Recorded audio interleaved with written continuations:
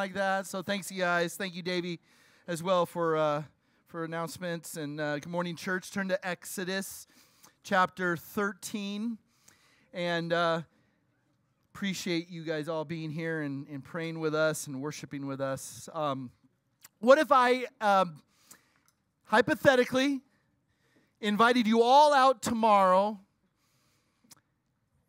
7 a.m., right? We want to beat a little bit of the heat. 7 a.m., and I say, all right, we're going to have a competition. Bring a bike, and let's meet out in the parking lot 7 a.m. So you all show up, and I draw a big line on the on the ground, and I say, okay, line up all your bikes on the line, and I take my my starter's gun and I go, go. What are you guys all going to be doing? You're going to be like, where am I going? What what are we here for? Is this am I racing against you? Am I racing with you? Am I where what's the destination? Right? If you don't know the rules, it's total confusion. Would you agree with that? Yeah, you show up and you're like all excited, like, oh, Pastor Scott's to have something fun in store. And it's like, nope, this is not fun. We don't know what we're doing or where we're going. Why? Because just like a competition, just like a race, just like any sport, there are rules. Right? I actually Googled this. I said, Is there a competition that exists without rules? I found one. And it's a foot race that goes from the Santa Monica Pier to the famous Las Vegas sign in Las Vegas. And it's a foot race, and it is known to have no rules, no spectators. You have to do it on foot, but it doesn't matter the route you take, it doesn't matter what you bring. Uh, but all that matters is you just get from one point to the other. The, the record right now is 110 hours. That's a long ways. That's, that's 500 kilometers. Oh, for, for you uh, United States folks, that's 340 miles. But here's the amazing thing about this is you're by yourself, you're on foot, you're trying to navigate your own route. You don't know, is this the best route? Is this the wrong route? Am I making the most efficient use of my time? What do I pack? What sort of resources do I need? And then ultimately, when you get to your destination, which is the sign, the Las Vegas, famous Las Vegas sign in Las Vegas, no one's there to clap and cheer you on. No one's there to say, well done. Matter of fact, there's a video of a guy who gets to the sign and everyone else is just there taking selfies like, who cares? But they don't know he just ran 340 miles or walked or whatever. And I think, how, how miserable would that be?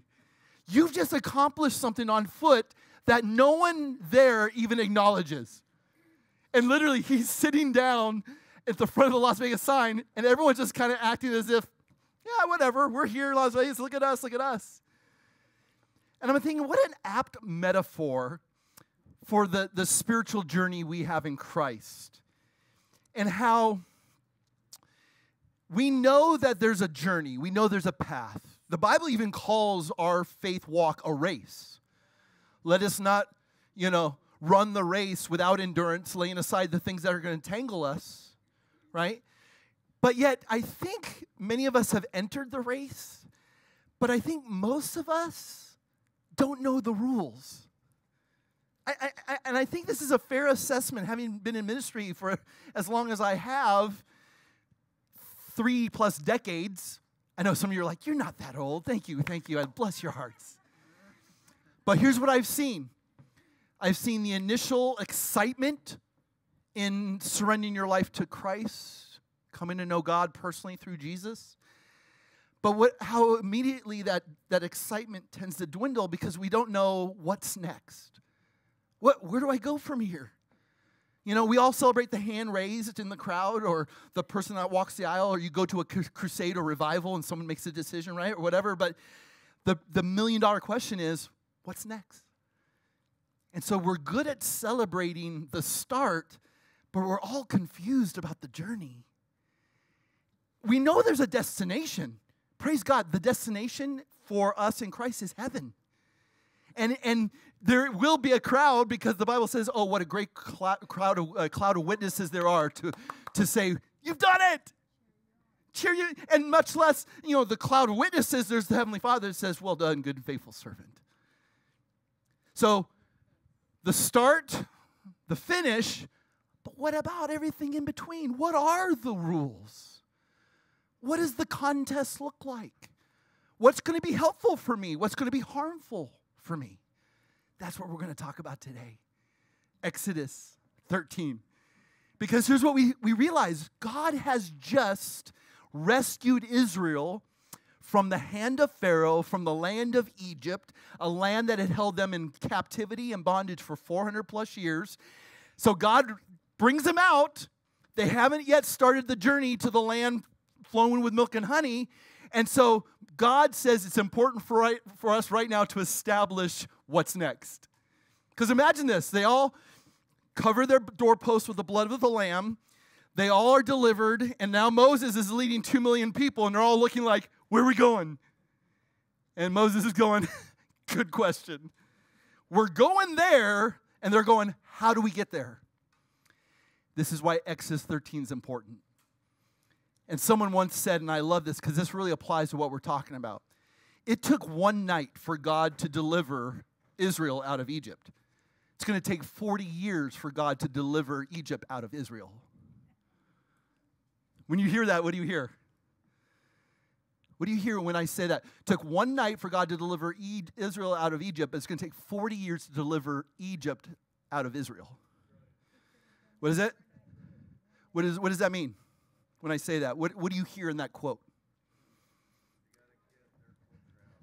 Okay.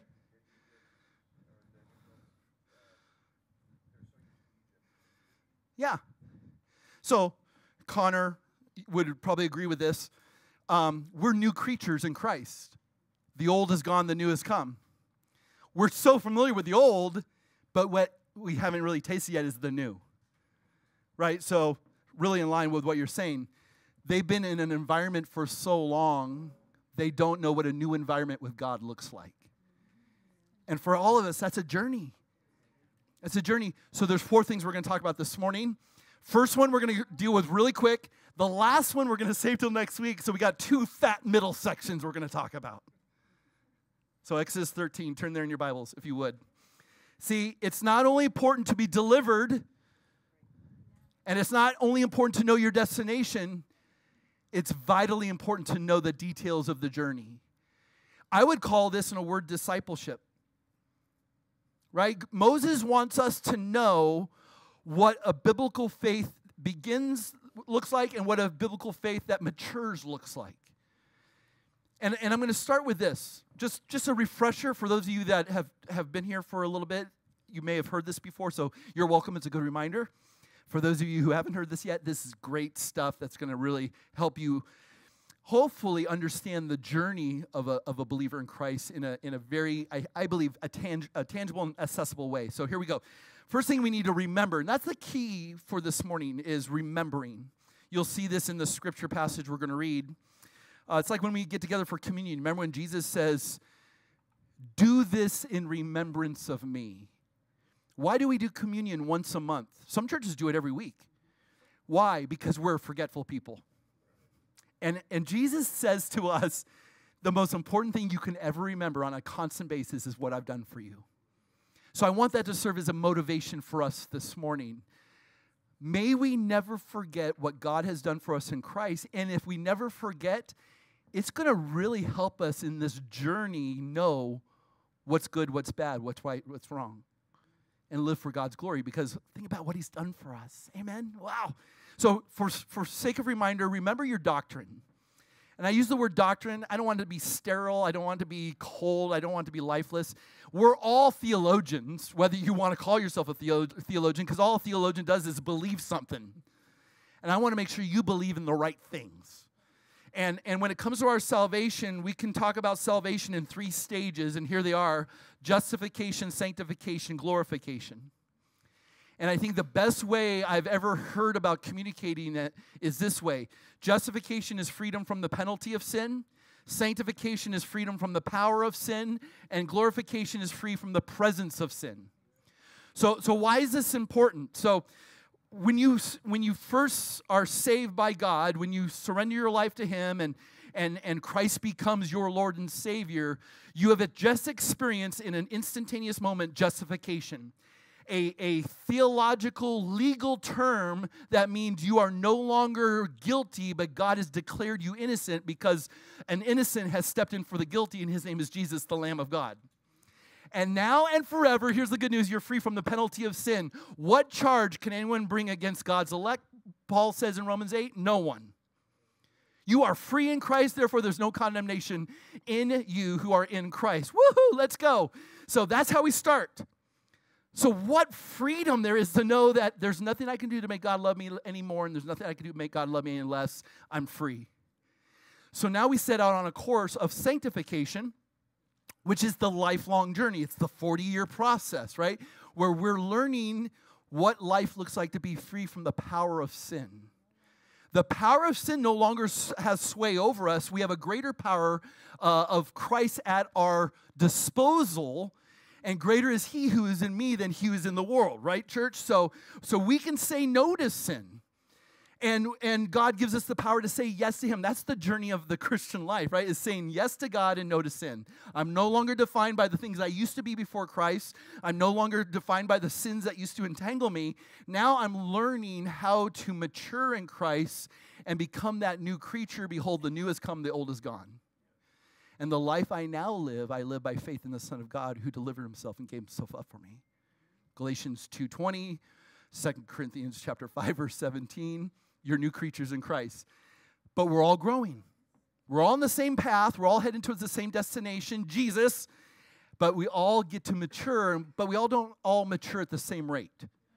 But praise God, we're all maturing. Because this is the work of the Spirit who's going to perfect his work in you. And our goal, glorification. The moment you take your last breath here and your first breath there, where you will ultimately be free from the presence of sin. Amen when there will be no more entanglements, there'll be no battle of the flesh, there'll be no more saying yes to sin and no to God, right? You will ultimately end up before the throne room of the Lamb of God, worshiping Him forever, and there will be no more death or sickness or sin or disease or wickedness or assassination attempts or politics and voting and ballots and all this stuff. One day we'll be free of that, right? And so here's the thing we're good at the start, believing in Jesus, and we're good at the end, heading to heaven. It's the, it's the sanctification middle that we all wrestle with and struggle in, right? And this is the one, let me just tell you, as one who works on behalf of the church, Big C Church, churches do a horrible job in discipling people in sanctification. It takes time. Remember how many years it took God to get Egypt out of Israel 40 years. And even with that, so many died without faith. Right? So those here's what I'm called to do. I'm called to encourage us. So today's going to be a, a word of encouragement. Sometimes that encouragement may come across strong and stern, but I also want it to be encouraging and hopeful. Amen. So let's look at the passage and then let's look at the next three points. Chapter 13 of Exodus. So then the Lord spoke to Moses so again, they're out of Egypt and they're kind of in limbo because they haven't started the journey yet. Here's what God says to Moses saying, Sanctify, consecrate, set apart to me every firstborn, the first offspring of every womb among the sons of Israel, both of man and beast, because it is mine. Whoa, whoa, whoa, whoa. He flexes right here. First service, I tried to be cool, and they said it wasn't cool. I said, "Here's God trying to, you know, he's his, the Riz level of God right here is just." Uh, I'm sorry, I just had to do it. It's horrible, isn't it? It's an old man who's trying to be really relevant to younger people. So, but he is flexing. What does God say? Moses, you tell the people they've been delivered, and even though they've been delivered, and I've, and I've shown my strength, everything that you are and everything you have is mine. Does God have the right to say this? Let's see if you really believe that here in a moment, okay? Verse 3.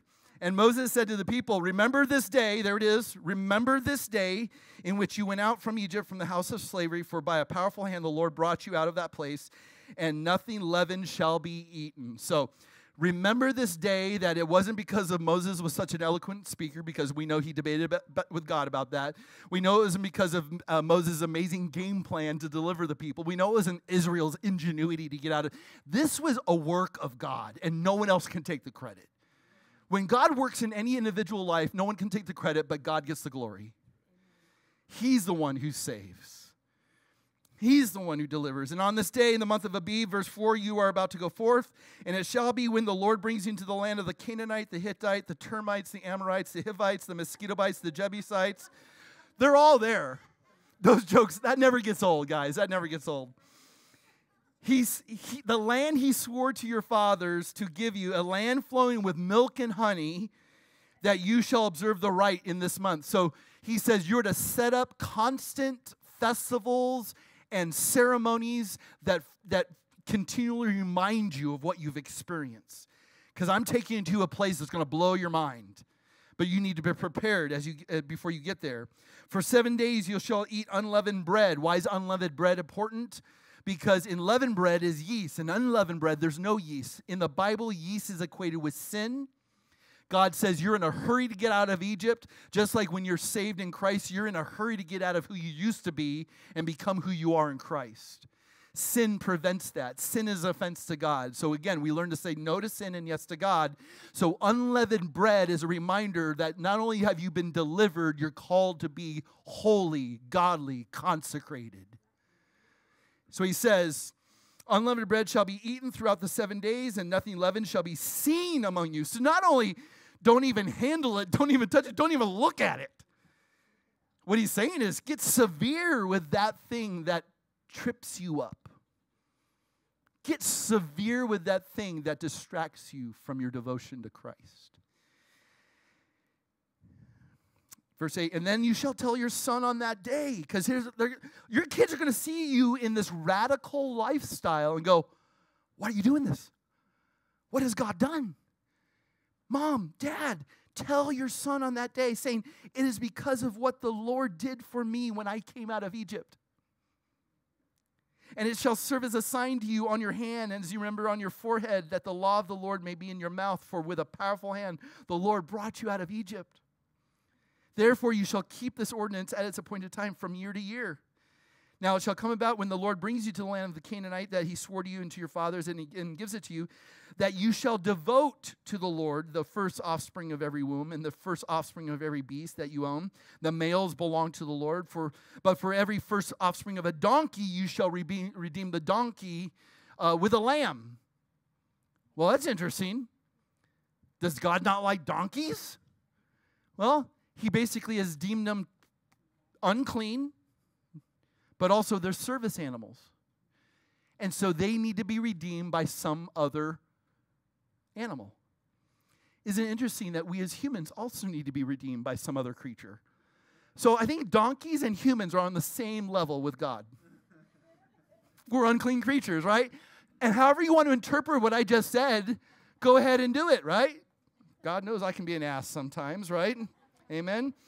Uh, and if you do not redeem it, then you shall break its neck. It needs to be redeemed, so there's no, uh, there's no excuse not to redeem it by substitution. Praise God for our substitution. Jesus for us. Woo! Let's go. And it shall be when your son asks you, verse 14, in time to come, saying, What is this? Then you shall say to him, With a powerful hand, the Lord brought us out of Egypt from the houses. Notice the message to your kids never changes. It's always the strong hand of God has saved us. Wow. And it came about when Pharaoh was stubborn about letting us go that the Lord killed every firstborn in the land of Egypt, both the firstborn of man, firstborn of beasts. Therefore I sacrifice to the Lord the males, the first offspring of every woman, every firstborn of my sons I redeem. So it shall serve as a sign on your hand and as phylacteries on your forehead. For with a powerful hand the Lord brought us up out of Egypt.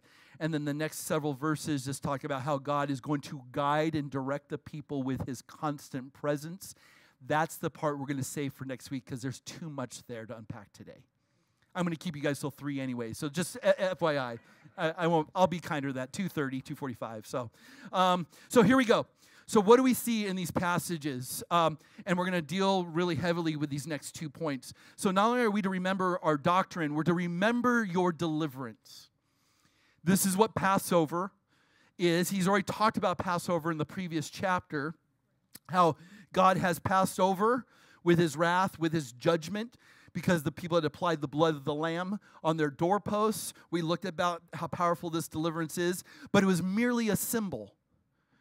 See, what you have to remember is Israel was freed from their slavery in Egypt, but they weren't freed from their slavery to sin. Just because you participated in the Exodus doesn't mean you're in.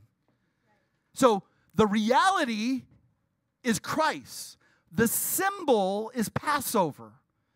And so, what God has to teach them as well, of, as well as us is say we're sitting here with communion on a Sunday morning it's not the bread and the cup that save us, it's what it points to.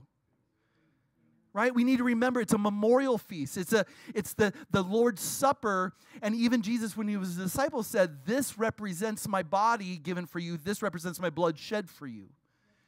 And so, what we need to continually keep in front of us is that all the festivals, all the ceremonies, all the things of God point to Christ, find their reality in Christ because He's the yes and amen, Jesus Himself of all God's promises.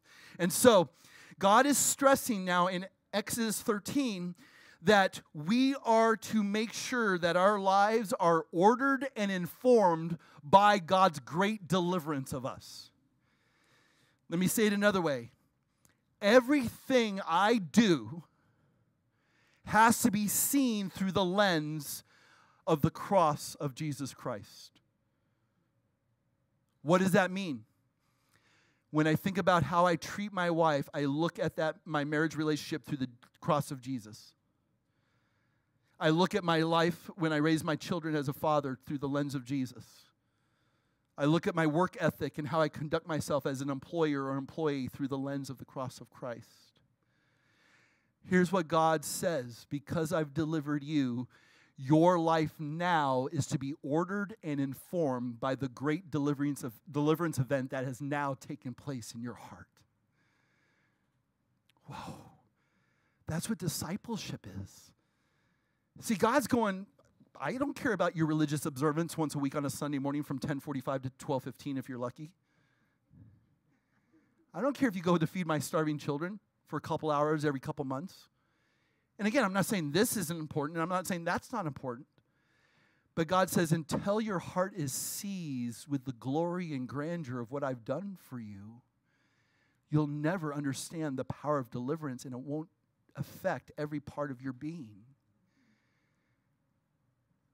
Israel, remember this. Church, remember this. A conquering God commands a consecrated people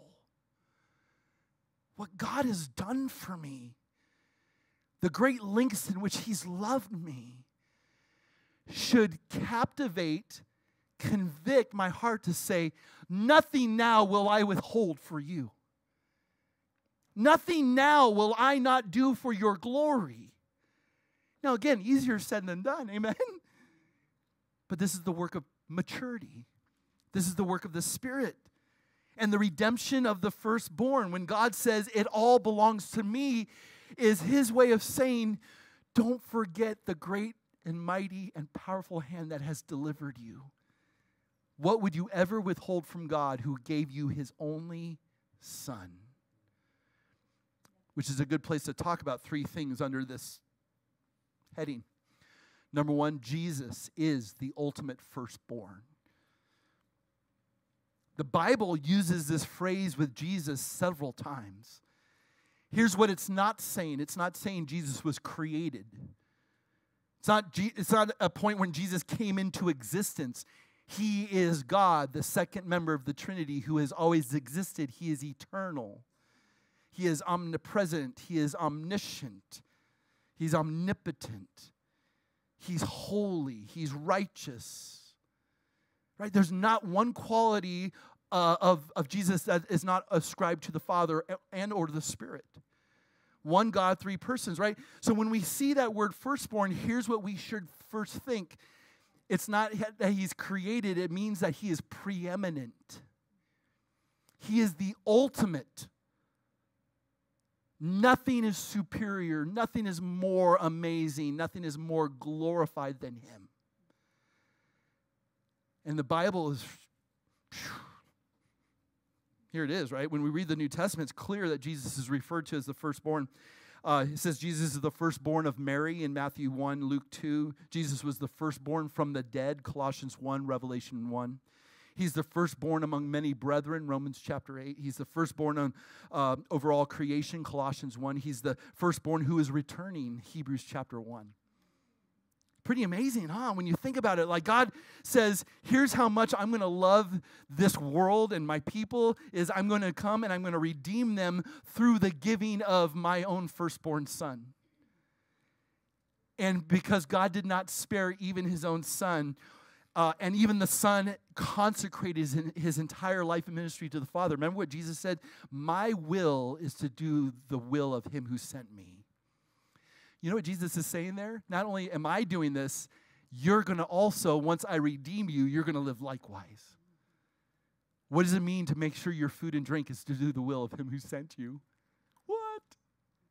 So, Jesus is the ultimate firstborn. He's the one that we look to, He's the one that teaches us, encourages us, models for us, empowers us, shows us a picture of what the, what the Father wants for us. Why? Because second point is that the church is the unconditional firstborn. There's times when you read scripture and sometimes you kind of pass over things. Uh, and pa- I didn't mean Passover in the, you know, I mean, it is kind of fun that I said it, right? And we're talking about Passover, but sometimes we, we gloss over. So look at this verse in Hebrews chapter 12. Check this out. The writer of Hebrews chapter 12, verse 23 says this And to the assembly of the firstborn, well, that's an interesting way to phrase to call the church, but that's exactly what the writer's doing. He's saying, because you know the ultimate firstborn, you yourselves have now become the firstborn of God, the church. And you are enrolled in heaven. And to God, the judge of all, and to the spirits of the righteous made perfect. Is that not cool or what? Now, here's the interesting thing. Why would Pastor Scott say unconditional firstborn. Because it would be easy for us to go, well, I know why God chose me.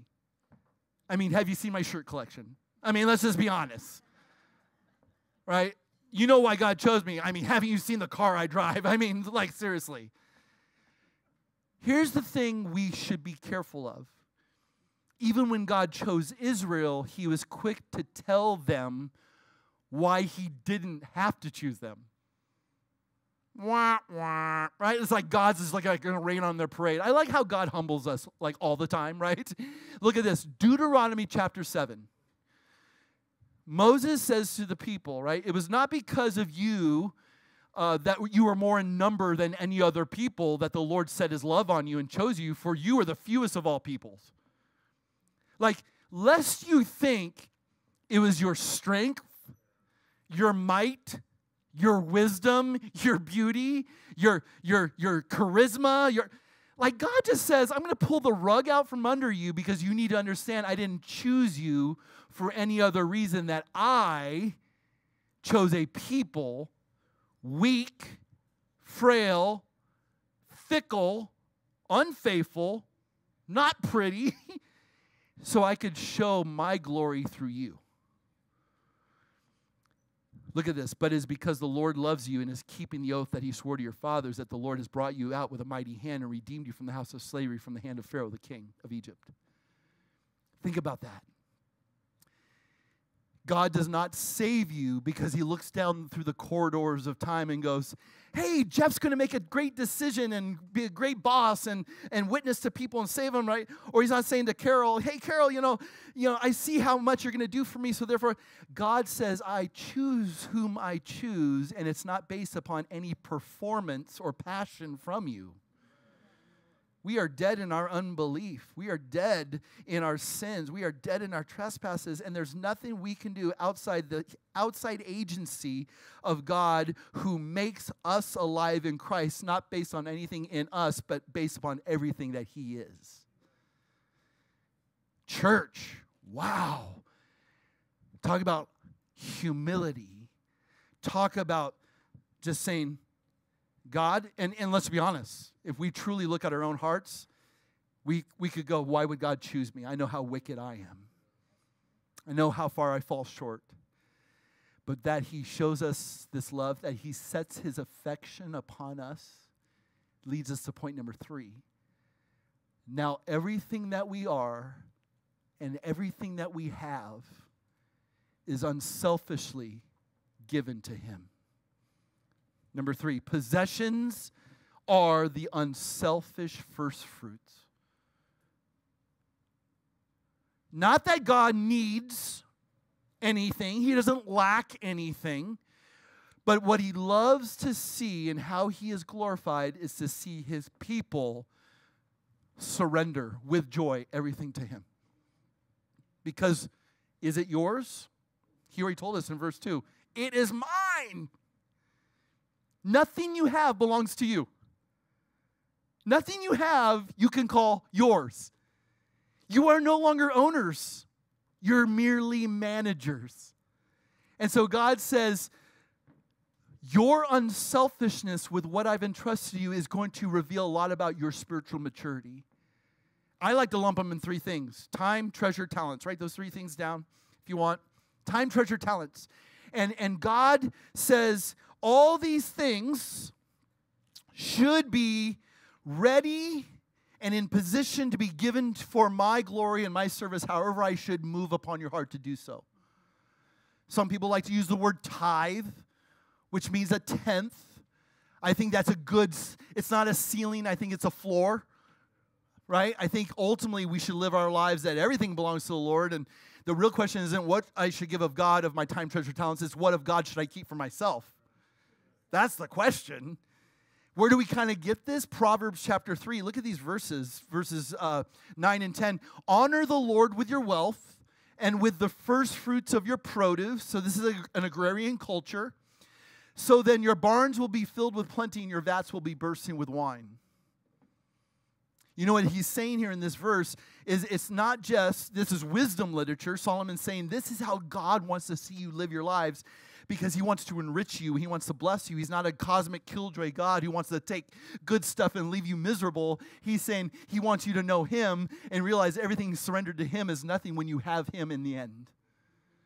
He's going to enrich your life. So, therefore, every single waking moment, you should be thinking about your time, treasure, talent. And if you want to go by the tenth, and let's just do so for sake of argument, How's a tenth of your time being devoted to God on a daily basis? How's a tenth of your income being devoted to God? How's a tenth of your talents being devoted to God?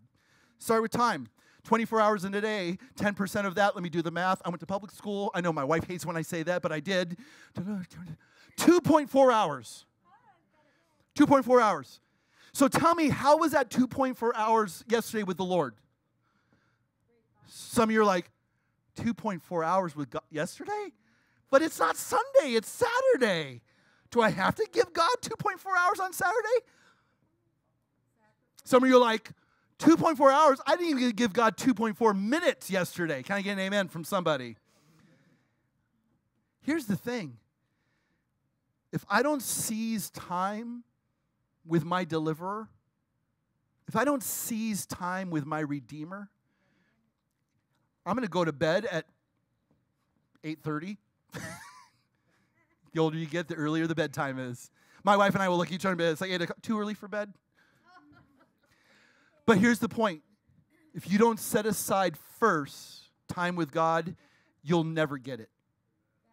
You'll never get it.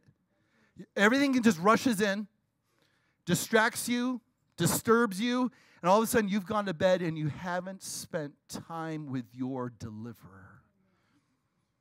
What would that look like? Now, let's not be legalistic. I don't want to mo- motivate you this morning out of legalism. I want to motivate you out of love. What would it look like, look like to say, I'm going to give the first of my day to Jesus? What would it look like if I made the first point of my day not to reach for my device and see what's trending, not turn on the news to see what's being talked about? Because I tell you what, if it's not Jesus, it ain't worth your time. But get your Bible, get a notebook, and pray and read and see what God will do. How about your finances? oh, no, Scott, don't talk about that. Oh, we're going to talk about it. I'm that pastor that loves talking about money. I met with the finance team yesterday.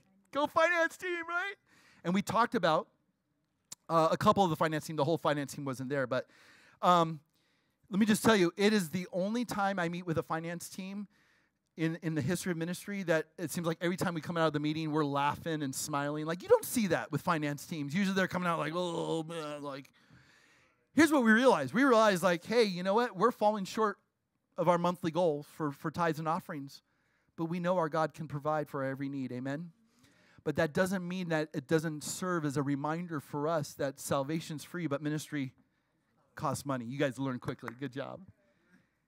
Here's the thing, you guys. The reality of it is, we want, this is not what we want from you, this is what we want for you. The fact is, all your money is not your money, it's God's money that He has put on loan for you. And He's saying, How well are you going to spend the money I've entrusted to you for me? The problem is when you spend all your money and you wait till the end of the month, you're not going to have anything left. You know what? I, I got my wife and I got paid on Friday. And you know the first thing I do? Get on my phone, Church Center app, church, not Amazon, church. Amazon comes later, and trust me, there's an Amazon truck permanently parked out front of our house. All right, so, um, I immediately go and say, God gets the first fruits. God gets the first fruits. Because if God doesn't get the first fruits, He'll get leftovers if there's anything left over at all. He knows our appetites and how we love to devour things that have nothing to do with time and eternity, than things that matter. Let me just tell you while salvation's free, ministry costs money, God's doing a work here and He wants to do a work in us and through us. One of the things we talked about in the, in the meeting yesterday was where, are we on the cusp because we sense the rumbling, the spiritual rumbling that perhaps we are in a position to multiply, replicate, reproduce what God's doing at Missio Sozo someplace else in the valley. We don't know when, we don't know where, we don't know who.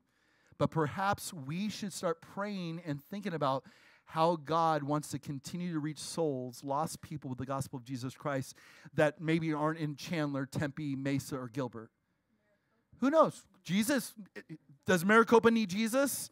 Does Goodyear need Jesus? Does P- Surprise definitely needs Jesus, right?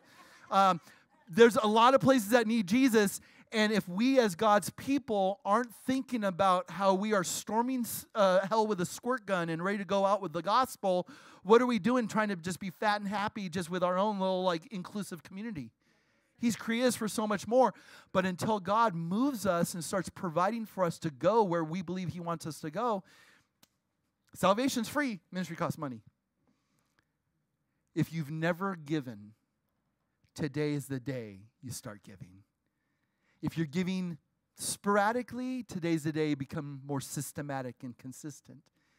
And if you are giving, praise God for your faithfulness. Maybe pray about God saying, yeah, maybe He wants us to give a little bit more. No matter where you're at on the giving spectrum, if you don't give or you give regularly, there's always room for us to go to the Father and say, What do you want me to change about my generosity? Because that's what it's about. And if God has given us his own son, what do I think I can withhold and be happy apart from him? This is why Jesus talks about money more than any other topic. Where your treasure is, that's where your heart's going to be. Many of you say, My heart's with Jesus, and yet your checkbook, your bank account does not reflect that. Again, it's not what I want from you, it's what I want for you. The life that is free from the love of money is a life free for the glory and work of God. Number three, talents. That Christianity is not a spectator sport, it requires us all to get in and get dirty. How is God saying, take a tenth of how you're gifted, how you're talented, how you're skilled, and give back? Serve Christ here, serve Christ in some sort of nonprofit, some do something for others. We tend to be wired to do things for ourselves, and yet when you're serving God, you're no more closer to the heart of Jesus than when you're serving. Because did he not come to not only serve, not to be served, but to serve and to give his life as a ransom for many? boy, how we need to reorient our thinking and go, this is not about me. This is about how I can think of others as more important than myself. Consider others' needs as more important than my needs. That's Philippians chapter 2. And so these three things right here remind us Jesus is the ultimate gift. We've become a church only by God's grace. And now we realize that possessions should reflect our generosity, how unselfish we are in these things. So, how do we get to a heart? Because this is what I'm talking about. I don't want you to do this f- merely for activity. I want you to do this because it touches your affections. Point number three remember your devotion. Remember your devotion. And then I'm going to just give you four things. And like I said, we'll just kind of wrap up our time with this. Four things that I want us to talk through. You're devoted in, to sanctification, you're devoted to service, you're devoted to scripture, you're devoted to sharing. All these things are found in Exodus 13. And so I'll, I'll kind of just key us back to this here in, in a moment. But let me just illustrate something for you. So, you know, say I'm. Uh, I have a female acquaintance. I think guys can have uh, friends that are women. I think women can have friends that are guys. Would we all agree with that generally, right? But say I have a female acquaintance in my life that I've known maybe for 15, 20 years, and I go, you know what? The holidays are going to roll around, and I want to buy that person, that friend of mine, something special. And I hear that she likes Louis Vuitton, and I go out and I buy a, a rare Louis Vuitton handbag. Say the price tag on this is $1,000. I don't even know if I'm on target or not. I'm just throwing this out. Up? $10,000? Okay, 5,000? Oh, okay, 2,500? Okay, good. Obviously, you speak from experience. I don't know. Just 25. All I know is when I go like to a place that has any place like that, there's a guy with a suit in front, like looking like this, like, don't you dare enter this shop unless you have at least $10,000 right now to drop, right? 25. So I buy my friend $2,500 rare Louis Vuitton handbag. And then I'm driving home. I give it to, and they're totally like, oh, thank you. And then I drive home and go, I need to get something for my wife. There's a Walmart on the way. And if I go to Walmart, I know there's a purse section and they've got to have a clearance area there. So I go into Walmart and there's Betty, the greeter at Walmart. Betty, what's up? Like, can you tell me where not just the purses are, but is there a clearance area where you have purses? She goes, Yeah, right over here. And I go, I find one. There's a purse that's $5.99. I go, My wife will love this purse. I go home and I give my wife the $5.99 handbag from the clearance rack at Walmart and she knows I bought someone else a $2,500. Things ain't going to be too cozy at the Morgan house that night. Would you agree with that? We do the same thing with God. We do the same thing with God. We give all the loves of our lives premium, priceless treasure. And then whatever we got left over for God, chump change for the Lord, we give to Him. Ladies and gentlemen, things need to change. Things need to change.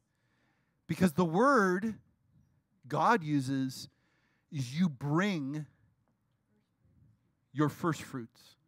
Notice he doesn't use a word donate. We treat God with our donations. If you call me and say, Scott, I'm in a bind I need a car. Mine's broken. I've got a job interview to get to. Can I borrow your car? Totally. Here are the keys. They're out. And I go, hey, uh, when you bringing my car back? I didn't use the word, hey, are you going to donate my car back to me at some point today? Because I could really use it myself. Does the car belong to the person I loaned it to? No and they would not even think in terms of donating my car back to me. It doesn't belong to them, it's mine. So the word is bring, not donate. When you realize God says, You bring back to me that which is mine, things change in your heart. Ladies and gentlemen, and until things change here, we will continue to be discouraged and depressed and despondent because our idol factory is on haywire. It's working overtime. You say you love the Lord your God with all your heart, soul, mind, and strength, but your hearts are far from Him. My heart gets far from Him, which is why this is important right here. So let's let's talk through this real quick. So, um, freedom in Christ is not to live life however you like. Freedom in Christ is to live life in what He says you ought to do. And again, this is motivation not from legalism, but from love. And so He says, remember. When you remember what Christ has done, there becomes this controlling influence on your life. If I forget about what Christ has done, there's no longer that controlling influence. And what takes over? The things I want. So, what does the controlling influence look like? How do we even, when God rescued Israel out of Egypt, He never says, hey, take time and look back on what you used to have and who you used to be. There was always, forget that and know where I'm taking you. Because today means more than yesterday, and tomorrow is going to be more mean more than today. This is why he says, I'm preparing to take you to the land flowing with milk and honey.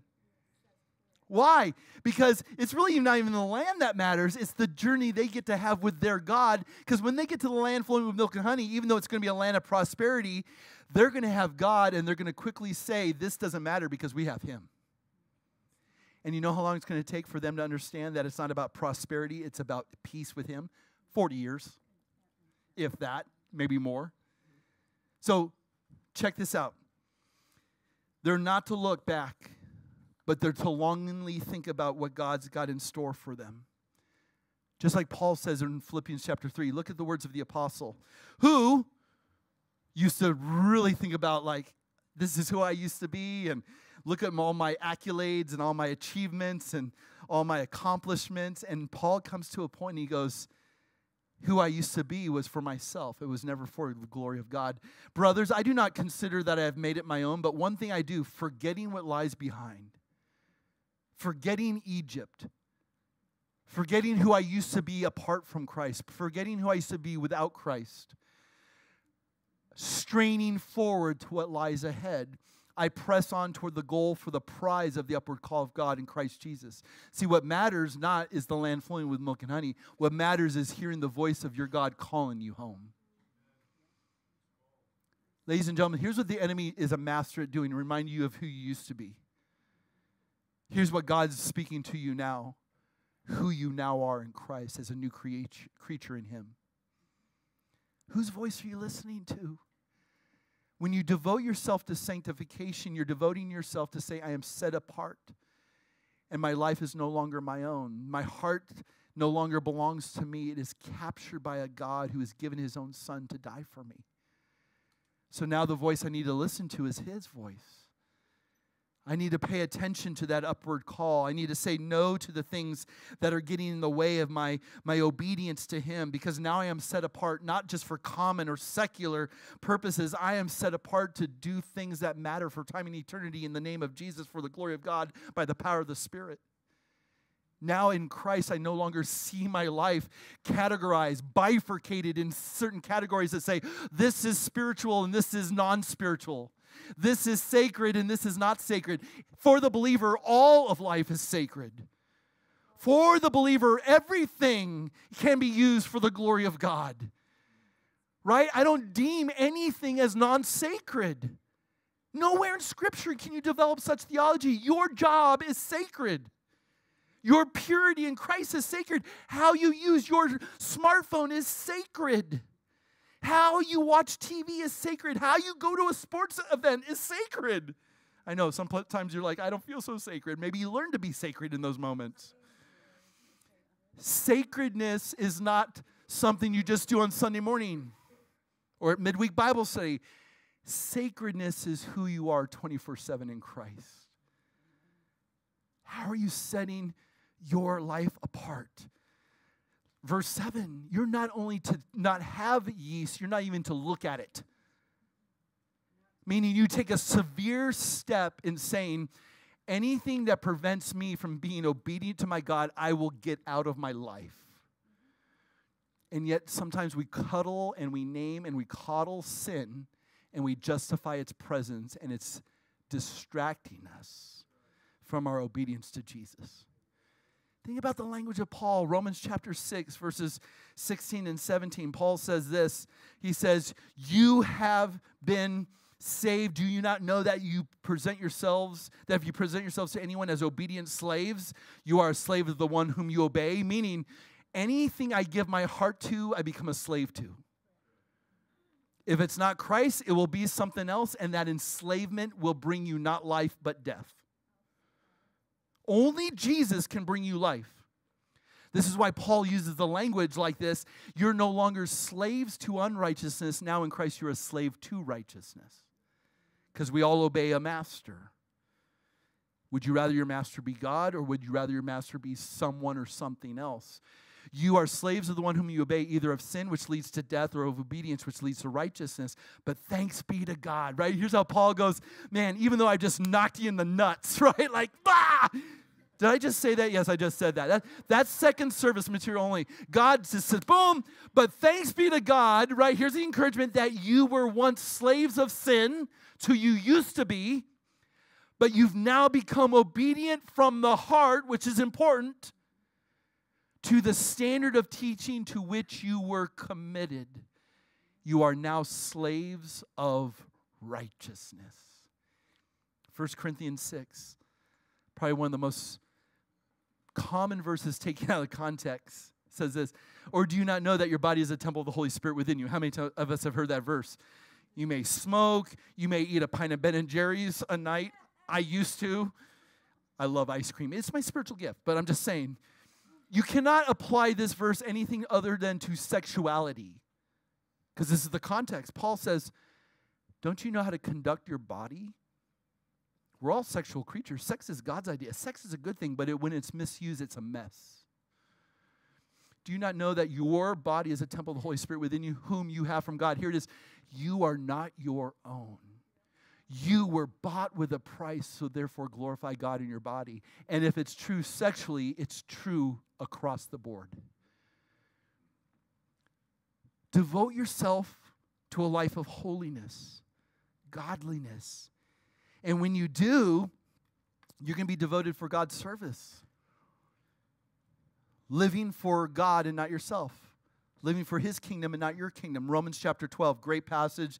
Brothers, sisters, in view of God's mercies, present your bodies as a living sacrifice, holy and acceptable to God. This is your spiritual act of worship. You are now a priest in the kingdom of God. Conduct your life as a manner reflective of the priest of God. Do not be conformed to this world, but be transformed by the renewal of your mind, that by testing you may discern what the will of God is, that which is good, acceptable, and perfect you can't discern what God wants you to do until your heart is a place that says, I want His will, not my will. That's what we're going to talk about more next week. Point number three devoted to Scripture. Notice the reference here where it says, You're going to write the, the, the law of the Lord on your foreheads and on your arms. Um, the Jews took this literally and created these things called phylacteries, or they, they call them uh, tefillin.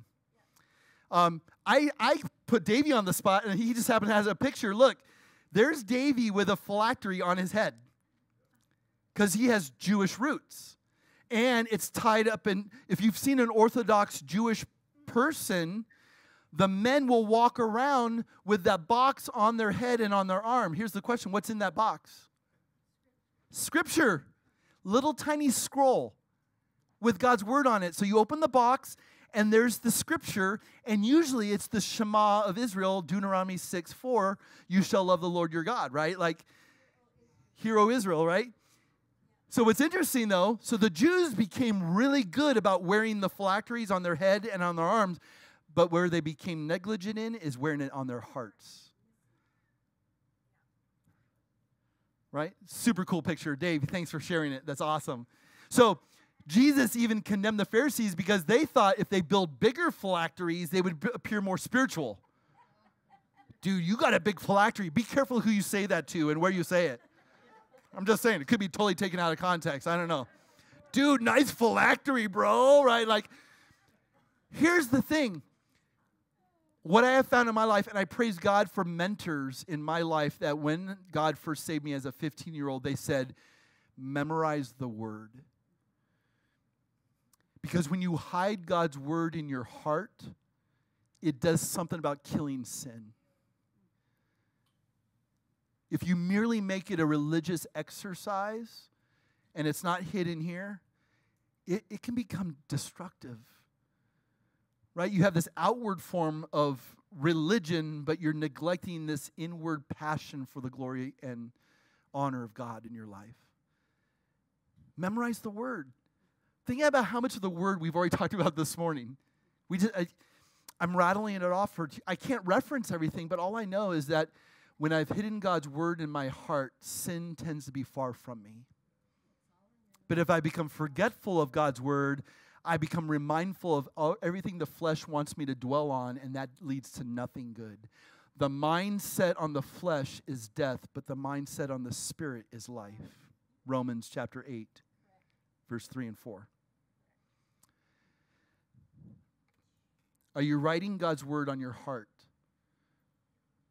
Are you, are you, are you ingesting the spiritual nourishment of the food of the Lord? Proverbs 6. Again, wisdom. My son, keep your father's commandment and forsake not your mother's teaching. Bind them on your heart always, tie them around your neck. Wait, wait, wait. We were talking about heads and arms, we weren't talking about neck. So this means that the language is meant to be more figurative right? When you bind God's word on your head, head, it affects your behavior, your thinking, your beliefs, your speech. For out of the mouth, the heart speaks. When you bind it on your arm, you're working and doing things with your hands for the glory of God. But look at this when you walk, they will lead you. When you lie down, they will watch over you. When you awake, they will talk with you. Whoa. For the commandment is a lamp and the teaching a light. For the reproofs of discipline are the way of life. Wow, guys. God says, hide his word in your heart. Proverbs 4 says, This is the wellspring of life. If you don't guard your hearts with what God wants you to guard it with, this will become a disaster zone. And number four, share your kids are going to ask you, someone's going to ask you, what, why are you doing this? Why are you going to church? Why are, you, why are you taking communion? Why are you getting baptized? Why are you reading the Bible? Why are you praying? Why are you turning off the TV to devote that time not to, to whatever you're streaming, but devoting it to the Lord? Why, why, why, why, why? And you're to say, because God has saved me.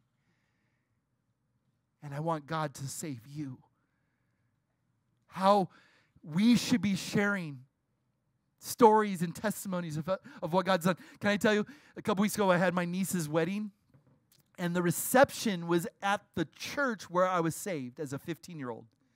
And you know what I was super excited about? I go, I get to show you guys where I was baptized. And they're like, okay. Like, I was super excited about this. And so we go to this church that I haven't been to in 30 plus years and we stepped into a room where I had so many memories. And specifically, the most important one was in a corner where there was once a baptismal. The building had been redesigned, but I knew exactly where it used to be. And the first thing I did when we walked in, as much as there were, there are decorations and there's a bride and groom and family and friends, I said, Look!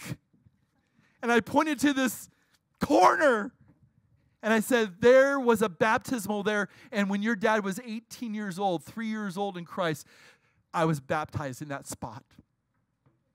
And they were like, Wow. But you know what? It's going to it's going to remain with them. When I drive and go, That's the place where, where God called me to ministry. That's the place where God showed me the importance of purity. That's the place where God said, I want you to marry this woman. That's the place where I, I called you to plant a church, right? Like we have these stones of remembrance. Why? Because these are the things our kids need to see where God's powerful hand has been at work. Because what else you telling them? You know, run that base, son, because the most important thing is for you to be a good baseball player. What? Not that that's not important. Oh, good job, son, in your academics. Oh, you're part of the robotics club and you got a badge? Man, that's what you live for. No, these are important things, but if we're not discipling our kids, and if you don't have kids to help disciple someone else's kids, because it takes a village, we're in this together. We are only one generation from the extinction of the gospel. One generation. Here's what I pray that I will never, ever not have stories to share with my children of how God has been faithful, how God has been good, how God can work in the life of a 15 year old who loses a mom to cancer, the life of a 15 year old who is saved by grace in Jesus Christ, the life of a 15 year old who's called into full time ministry, the life of an 18 year old that is baptized, the life of a 21 year old who finds the love of his life, the way God works in our calling, in our conduct, it will never grow old. Because at the end of the day, you know what they're not going to remember? Some stupid summer movie you took them to see. Oh, trust me, we saw two over the weekend. No. Quiet Place and Bike Riders. So, but you know what they're going to remember? Is with, with tears you tell them how the mighty hand of God has delivered you. Psalm 78. Here's what the writer says We will not hide them from their children but tell to the coming generation the glorious deeds of the Lord in his might and the wonders that he has done. He has established a testimony in Jacob and appointed a law in Israel, which he commanded our fathers to teach to their children, that the next generation might know them, the children yet unborn, and arise and tell them to their children. And then, next slide, this continues so that they should set their hope in God. One of the greatest failures of any parent is to have our kids hope in things that are not eternal and not forget the works of God, but keep his commandments and that they should not be like their fathers, a stubborn and rebellious generation, a generation whose heart was not steadfast, whose spirit was not faithful to God. Ladies and gentlemen, boy, we are desperate for God to seize our homes, to seize the heart of a dad, to seize the heart of a mom. Our kids are hungry. They're hungry for relationship, they're hungry for connection. And what technology keeps promising is, is connection. Can I, can I just tell you, we've all heard the term AI, which stands for artificial intelligence. You realize this week it's changing. I, I love to be the, the, the harbinger of new, new news to you. You know what AI now, now, now means? Artificial intimacy. Because here's the story NPR, because I love Jesus, I, I told you guys this already. NPR had a story how there is this study now, how quickly things that we celebrate and are excited about turn on us. No longer is it artificial intelligence, now it's artificial intimacy. We're taking AI and chatbots that are promising therapy, counseling, companionship, romantic connection, and it's not giving us what we're wired for. Because that was never meant to give us what we're wired for. What we're wired for is relationship with God and with each other, minus technology, minus computers, smartphones, screens of any form or fashion. What you're wired for is this, and we're feeling the effects of it you live in an artificial, intimate relationship if you lack this and it's all about this. Where are my kids to hear about the hope of God if not from their, their dad or mom? Where are they hear, where are they going to hear about the importance of sex? If not from their mom and dad. Because let me just tell you, the technology world is eager to feed, feed them all this information. And what do we end up with? Kids who have the latest iPhone, the hottest technology, but whose hearts are dark and disillusioned because they've bought into the lie that the rest of the world's buying into. Set their hope in God. Amen, church? Whew. To be continued. Here's the, here's the last point next week. give you a little bit of an appetizer. Remember your direction. So here's the question I'm going to present next week How does God want to direct my steps every single day? How does He want me to discern what the next step looks like? What does it mean for His presence to be with me continually? Do I, am I aware of His presence? He's going to lead Israel by a cloud of, of, of fire by night and a pillar of cloud by day. Obviously, he's not doing that. I don't see any fire or clouds. I mean, other than the heat, which is probably playing games with all of our minds. Amen. But how does God lead us? We're going to talk about this next week. But in the meantime, honor the Lord in your life, church. Consecrate yourselves unto the Father who has shown you such extravagant love. Live your life in a manner worthy of your calling in Christ Jesus. And all God's people said, Amen. How are we doing? Is it dinner time yet? Okay, good. Let's pray and get out of here. Let's stand, let's pray. Father, thanks for t- this morning. Thank you for being so good to us, for this time to, to, to pray and sing and dive into the word. Lord, may not just the, the words today saturate us in our minds, but may they penetrate our hearts. May we live in a constant state of amazement of what you've done for us. Thanks for being such a good God, for doing for us what we can never do for ourselves. May that amazement just continue to bring forth this, this sense of just, we want to live for you. Whatever we put our hands to, whatever we look at, whatever we speak, may it be for your glory. May we not only honor Christ, but may we help others see Jesus and live for him. Thank you for this time today. Thank you for this church community, this family. Work powerfully in us and through us. And Lord, may we continue to just point all people to the life and hope and joy that's found in Christ Jesus Himself.